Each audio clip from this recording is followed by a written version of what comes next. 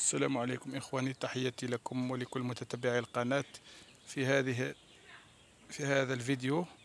سأطرح عليكم نتيجة تطعيم الإيجاز أو الكمثريا على شجرة الإيجاز.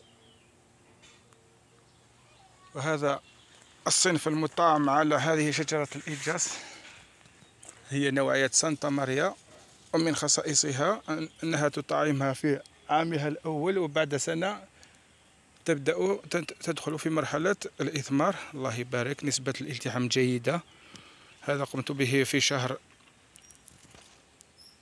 مارس شهر ثلاثة من السنة الماضية بطريقة الشق. نسبة النمو جيد. الله يبارك. فيه ثمار. الله يبارك. نوعية الإيجاس الجيد. سانتا ماريا كما تشاهدون.